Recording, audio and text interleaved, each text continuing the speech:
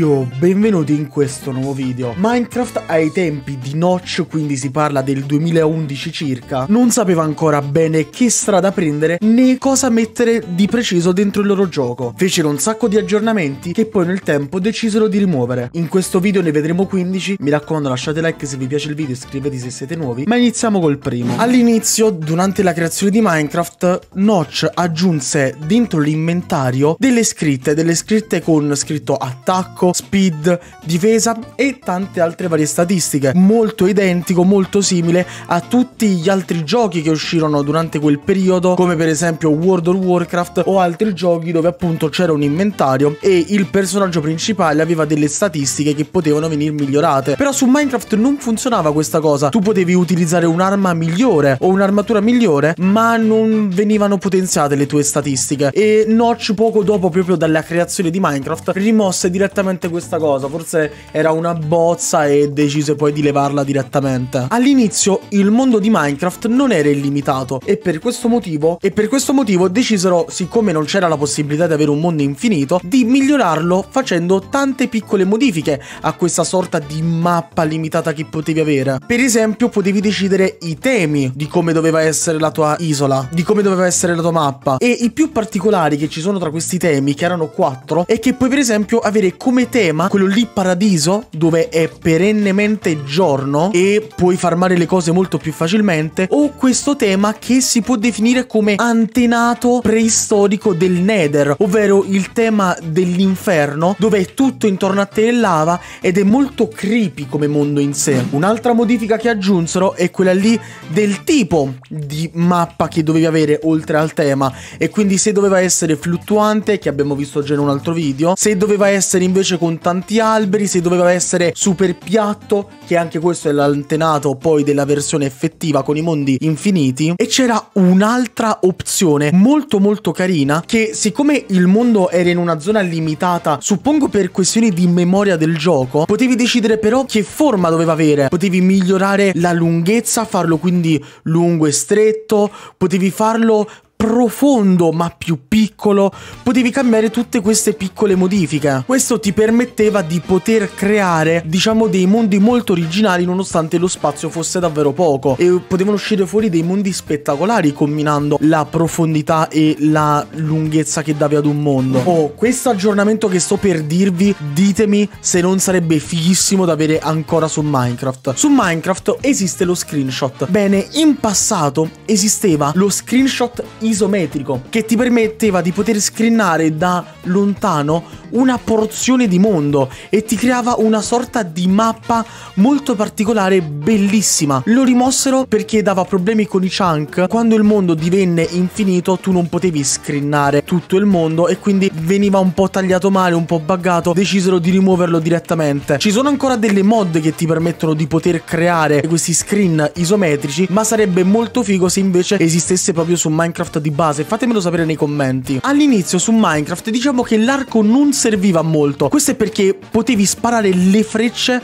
semplicemente premendo tab e non avevi un cooldown, non avevi limiti, le potevi spammare all'infinito. Eri letteralmente una mitragliatrice che camminava in giro. E quindi te potevi vedere sulla tua hotbar quante frecce avevi e spammando il tasto tab potevi sparare a raffica le frecce. Ovviamente è stato rimosso perché eri troppo forte con una cosa del genere. In passato i creeper, che già di per sé nacquero per un errore, avevano un'altra particolarità. Non soltanto potevano esplodere durante il combattimento, ma esplodevano anche alla loro morte. Quindi te, una volta che avevi visto un creeper, era la tua fine. Perché anche se tu lo avresti ucciso, ti avrebbe fatto esplodere la base. Diciamo che non è proprio molto molto OP come cosa questa qui del creeper da ricevere. Infatti l'hanno rimossa perché era proprio odiato. Non è che dava fastidio, proprio ti permetteva di non giocare. Immagina che ti trovi un creeper nella tua base.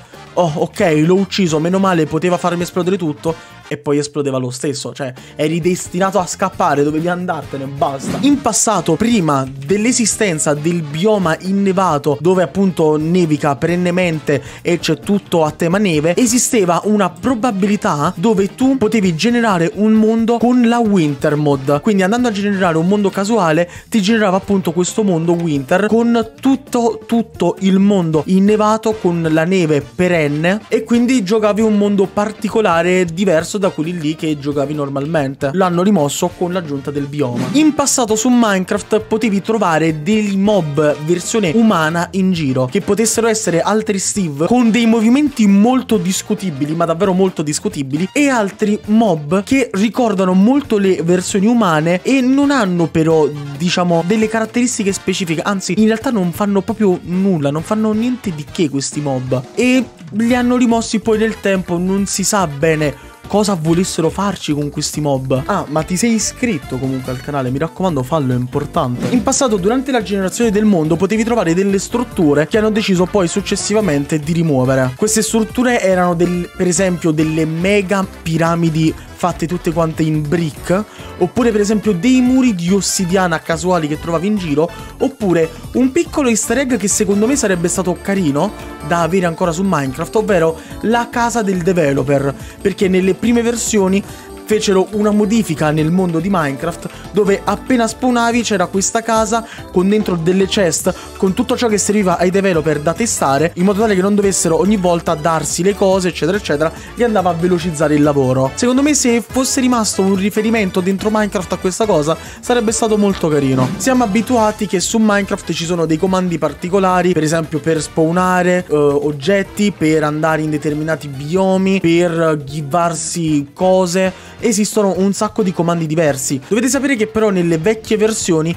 esistevano dei comandi proprio sulle F della tastiera, come per esempio per farsi lo screenshot, che però andavano a modificare il mondo. Per esempio potevi spammare l'esistenza dei portali premendo F4, tu premevi F4 e ti spawnava un portale addosso, oppure per esempio potevi attivare e disattivare pioggia, la pioggia nel mondo, invece del comando che esiste ora. E nulla signori, fatemi sapere cosa ne pensate nei commenti, se vorreste ancora qualcosa di queste cose su Minecraft. Mi raccomando lasciate un bel like al video, ci si becca domani alle 14 con un nuovo video.